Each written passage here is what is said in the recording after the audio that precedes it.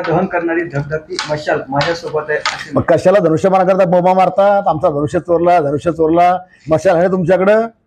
पेटवा मग समाजवादीचे विचार पेटवा काँग्रेसचे विचार पेटवा राष्ट्रवादी विचार पेटवा त्याचा प्रचार प्रसार करा. कशाला आमचा धनुष्य चोरला म्हणता? एवढी मशाल प्रिय तुम्हाला तर? उद्धव ठाकरे म्हणतात की सुटेला पळणारे लाचार राज्याचं हित सांभाळणार का?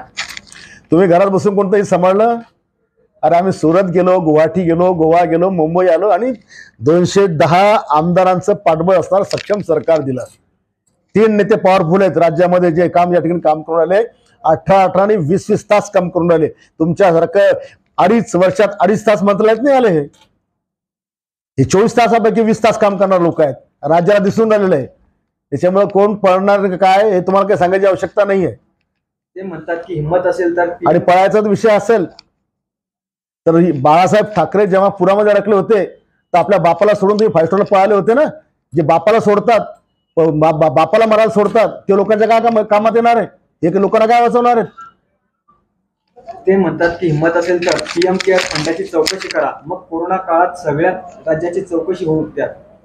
चौकशी ज्यांनी ज्यांनी घोटाळे केले त्याची चालू आहे त्याच्यामुळं तुम्हाला काही काळजी करायची गरज नाहीये. कोणाची चौकशी करायची आणि कोणाची तेवढं शासनाला समजतं. तुम्ही सांगावं आणि शासनाने ऐकावं अशी काही आज आज काही गरज नाहीये. तेव्हा योग्य लोक ज्यांनी ज्यांनी करप्शन केलं त्याची इन्क्वायरी सुरू आहे. व्हायला पाहिजे. जेव्हा तुम्ही देशाला थाळ्या पडवायला सांगत होता तेव्हा आम्ही गरिबांना जेवण दिलं हेच आमचं हिंदुत्व आहे असे ते म्हणतात. सगळ्यांना माहिती आहे तुमचं हिंदुत्व आता समाजवादी वोटी मुजरा घालतंय. तुमचं हिंदुत्व हमासच्या आतंकवाद्यांचं समर्थन करतंय. तुमचं हिंदुत्व पवारसाहेबांच्या बारामतीच्या दारी जाऊन पडलंय. तुमचं हिंदुत्व दिल्लीच्या सोनियाताईच्या दरबारात जाऊन बसलंय. सगळ्या महाराष्ट्राला दिसून आलं तुमचं हिंदुत्व काय आहे.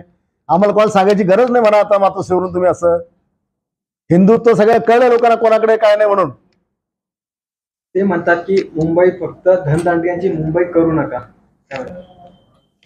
मुंबई देशाची आहे महाराष्ट्राची आहे गोरगरिबांची आहे आणि धनधानग्यांची पण आहे.